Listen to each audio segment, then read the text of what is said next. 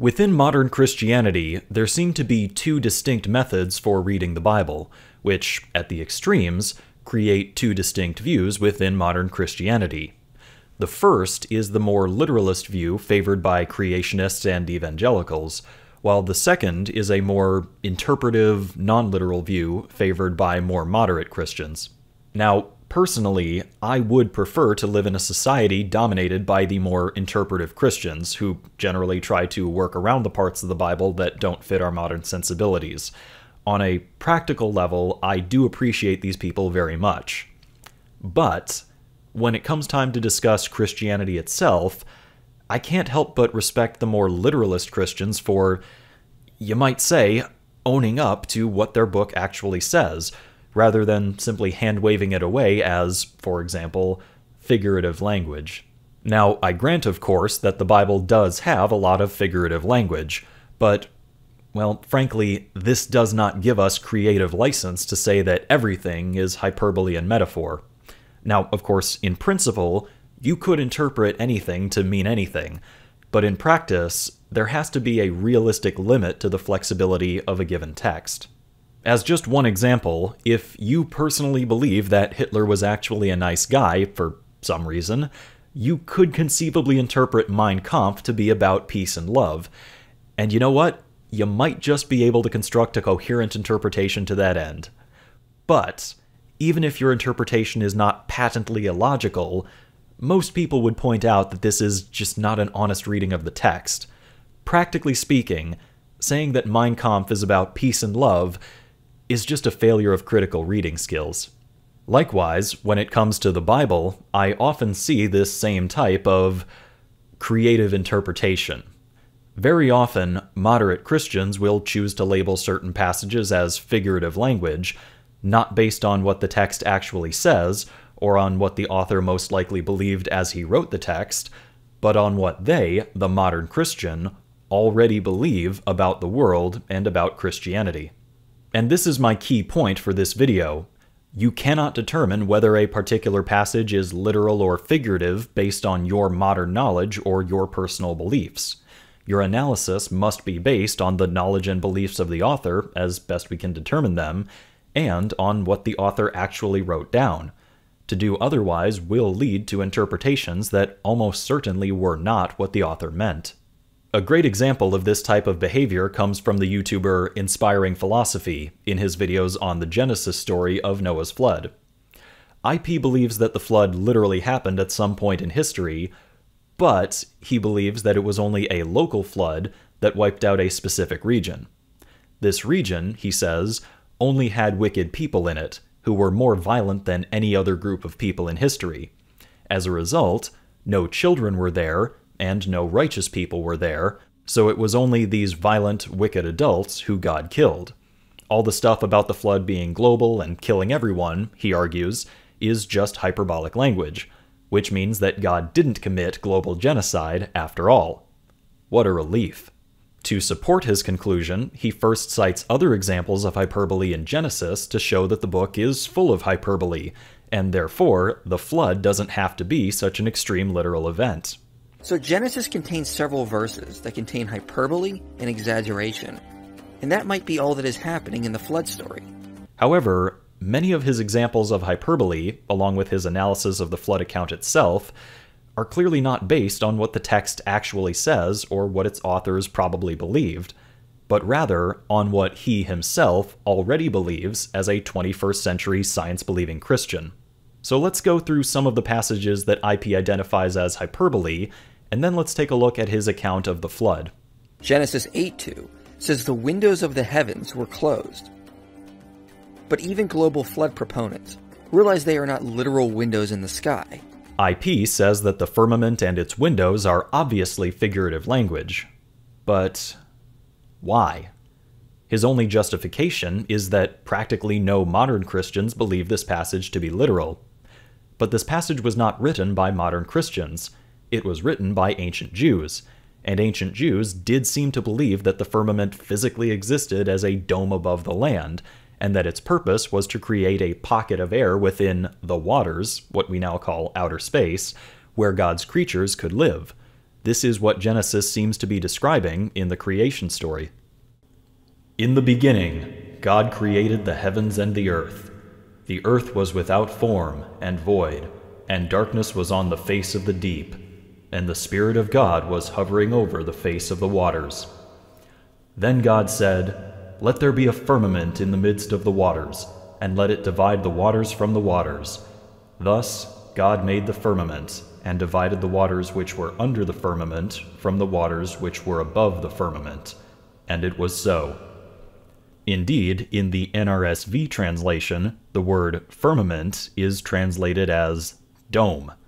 The only reason why modern Christians glean a different meaning from these passages, claiming them to be figurative rather than literal, is because they already know that these passages are factually wrong. Outer space is not full of water, and the sky is not a solid barrier holding it back. Saying that the firmament and its windows are figurative language is simply not an honest reading of what the authors actually wrote. It's a transparent attempt to rescue a faulty text. In Genesis 41, it says, All the earth came to buy grain from Joseph. But obviously, the Chinese, Australians, or Mesoamericans didn't travel to Egypt to buy grain. Nor did Jacob, he just sent his sons to buy grain. So this is obviously hyperbole. Okay, but the author didn't know about Australia or the Americas. From the author's perspective, it would have been entirely possible for people from every region on Earth to come to Egypt. IP is labeling this passage as hyperbole, not because the author knew about Australia and the Americas, but because he knows about Australia and the Americas. Once again, this is just not an honest way to read an ancient document. In Genesis 14, it says the enemies took all the possessions of Sodom. So, even the clothes and the houses? This is obviously hyperbole to mean Sodom was ransacked, but they probably literally didn't carry everything out of Sodom and leave all the people bare naked. In my opinion, this passage probably is hyperbolic, but not because I know that this is not how cities are ransacked, but because the author would have known that this is not how cities are ransacked. It's probably never been the case that cities were literally picked clean of every last item, and the author would have been in a position to know this. Once again, the litmus test for figurative language has to be what the author probably knew and believed, not what modern people know and believe. Alright, so now that we've looked at some examples of figurative language, or not so figurative language, I think we can move on to the flood. And first, I'd like to do a quick check of your critical reading skills. That is, you, the audience. I'm going to read a few passages, and I'd like you to tell me what this God or Lord character wants to do, and ultimately does. Then the Lord saw that the wickedness of man was great in the earth, and that every intent of the thoughts of his heart was only evil continually. And the Lord was sorry he had made man on the earth, and he was grieved in his heart. So the Lord said, I will destroy man whom I have created from the face of the earth, both man and beast, creeping thing, and birds of the air, for I am sorry that I have made them. The earth also was corrupt before God, and the earth was filled with violence. So God looked upon the earth, and indeed it was corrupt, for all flesh had corrupted their way on the earth. And God said to Noah, The end of all flesh has come before me, for the earth is filled with violence through them and behold, I will destroy them with the earth. And behold, I myself am bringing floodwaters on the earth, to destroy from under heaven all flesh in which is the breath of life. Everything that is on the earth shall die. And all flesh died that moved on the earth, birds and cattle and beasts and every creeping thing that creeps on the earth, and every man. All in whose nostrils was the breath of the Spirit of life, all that was on the dry land, died. So he destroyed all living things which were on the face of the ground, both man and cattle, creeping thing and bird of the air. They were destroyed from the earth. Now, critical reading check. What does God want to do? Does he want to A. Wipe out every land animal on Earth, including humans, B. Wipe out every human on Earth, but none of the animals, C. Wipe out every adult human in a small geographic region, or D wipe out a short list of specific humans? The answer, of course, is A. God wants to wipe out every land animal on Earth, including humans. This is clearly what the story is about. Furthermore, the repetition of this desire seems to hammer home the notion that this was, in fact, a global event. If the author had said it just once, then you might be able to say that it was hyperbolic. But when the author repeatedly says that God wanted to destroy man and beast, make an end to all flesh, destroy them along with the earth, everything on earth shall die, it's kind of hard to escape the conclusion that the author really did mean a global event. If you don't think that this is what the author meant, well, what else could he have said if he wanted to describe a global event? If that is what he meant, could he have been any more clear about it? Your devotion to scholarship is a shining beacon to all Stop it! I cheated! Cheated, cheated, cheated, cheated, cheated! Lisa, what are you trying to say? I cheated! So it seems fairly clear that this story is describing a global flood that wiped out all terrestrial animals on Earth, including humans, except, of course, for those on the Ark, which the story specifically exempts. Again, critical reading skills. All creatures with the breath of life, except those on the Ark. Inspiring Philosophy, however, disagrees. He believes that this was a local flood, and that the only humans who died in it were adults adults who, he says, were engaged in such extreme violence that there was not a single child in the region at the time. In defense of these ideas, Inspiring Philosophy makes the following arguments. Now, please do note this is not his complete argument set, but these particular arguments rest on the kind of flawed reading style that I'm here to critique. The event carries theological and moral issues for many. Why would God literally drown everyone, even the children and infants? But did he? This is often assumed as an indirect consequence of a flood, but let's remember this is an assumption not mentioned in the text.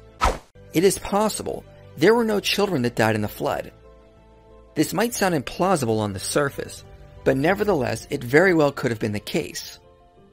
Let's remember textually and geologically, there is no reason to suggest the flood was global, but only regional within the area of modern-day Iraq and eastern Arabia. That limits the scope of the damage it could have done. But also remember, the flood was sent because of violence that was on the face of the land. And the biblical text treats the time of Noah as an anomaly, unlike anything the world has since seen. It is best compared to a later event in Genesis, the destruction of Sodom and Gomorrah. Abraham asked God to spare the cities of the plain if there is just 10 righteous people inside, and God agrees. But such a thing was not found, and thus Sodom and Gomorrah are destroyed. Now combine that with how scripture implies there is an age of accountability, implying that people have to have the ability to consciously do evil, which many children are incapable of. Therefore, it is likely God destroyed Sodom because there literally was no one innocent or righteous within these cities. Likewise, the flood is set up as a special circumstance that doesn't happen all the time. The people were so violent, there was literally no innocent life left. Children were likely victims, or family oriented people would have fled the region or have been victims themselves. I certainly applaud inspiring philosophy's creativity, but I think it's clear that this is not an honest reading of the flood account. Now, that's not to say that his interpretation is an impossible reading of the text, but his idea that the flood only killed violent adults in a specific region is simply not what the story itself indicates. Now, he may believe this for other reasons, such as his belief that God does not do evil things, or that children are innocent, and his knowledge that the world was never completely flooded, but the text of Genesis tells a completely different story. In the comment section of his video, I pushed back on his conclusion that there were no children present, and in response, he asked me, what verse says children drowned? Oh, I don't know. What verse says that the flood killed any women, or that it killed anyone with brown eyes? Would you believe that no brown eyed women died in the Genesis flood? Especially if the person proposing this idea was pre committed to the notion that God wouldn't kill brown eyed women for some reason? Of course not, because that would not be an honest reading of what the story actually says. The story says that all flesh died. Frankly, it seems to me that modern Christians, like inspiring philosophy, are not reading the text to understand what the author meant, but rather to reshape the text around their own beliefs.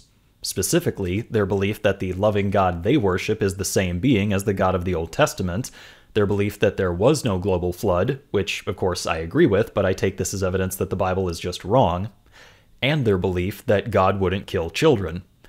Except for all the children God killed in other places, but that's not the point. The only reason it even occurs to modern Christians to reinterpret passages like these is because they already know that these passages are wrong, or because the passages reflect a different theology from their own. So instead of either conceding that the original author was mistaken, or conceding that this genocidal being is not the God they worship, they attempt to salvage the text by making room for modern knowledge and modern theology. God doesn't need to save them, they need to save God.